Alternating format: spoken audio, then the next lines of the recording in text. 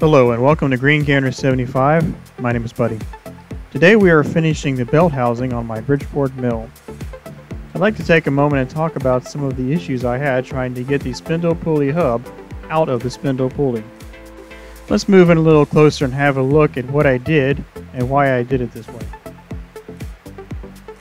Now, before you hit that unsubscribe button, please remember that I don't have access to a machine shop, and the machine that I need to complete this project in a less messy way is the one I'm working on right now.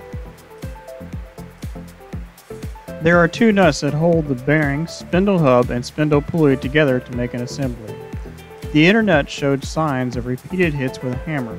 Nothing I did would allow me to get that nut off the pulley, and I tried everything. The threads were severely galled and it was stuck for good. So I made the crazy choice to cut the inner nut in half, and then I could break and drive that nut off the threads. After all, the nut only cost $30. The spindle hub it was stuck on cost $400. I was able to cut the nut in half with my tabletop drill press, a cut-off wheel on my Dremel tool, and a lot of patience. After closer inspection of the outer nut, I figured it was best to go ahead and replace that as well. The new nuts have come in and I can tell I made the right decision to replace them. Now, let's talk about the elephant in the room. I was hesitant to show this, but it plays an important part in the success of this project. The gash in the threads was made when I went too deep with the burr cutting the old nut off.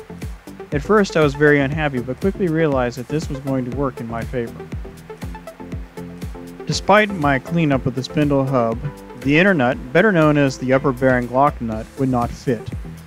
In a moment of desperation, I used a little force, or maybe a lot of force, to try to get that nut to go on the spindle hub. It started to turn and kept turning. The nut got easier to turn the more I turned it, and I was able to screw it all the way down. At this point, I figured it was stuck and I just threw $430 out the window. But to my surprise, the nut unscrewed with ease. I tried screwing it back on the shaft and it worked perfectly.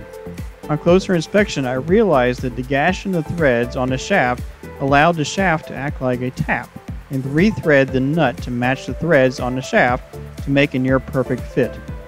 So, what I thought was a horrible mistake worked in my favor in a surprising way. Both bearings here were a light press fit.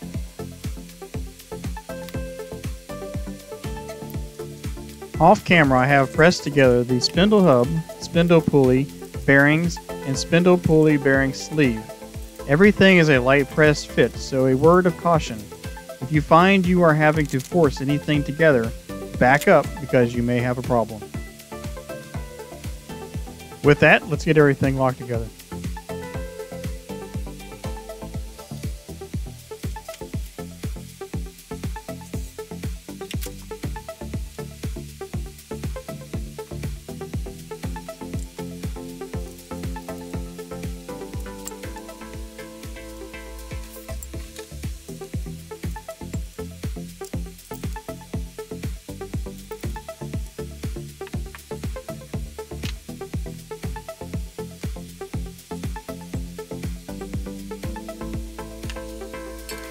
Here I'm putting the brake back in.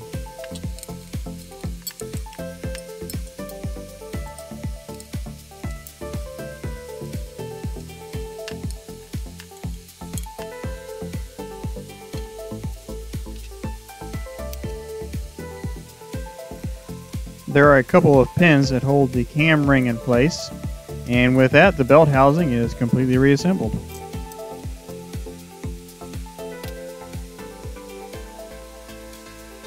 Well, here it is, folks. The belt housing has been installed on the Bridgeport mill. We're getting ready to move on to our next project, which will be the motor. It's going to be a real challenge there. Looking forward to it. Well, with that, I want to thank everybody for watching. Thank you for your subscription. We'll see y'all next time. Y'all have a good evening.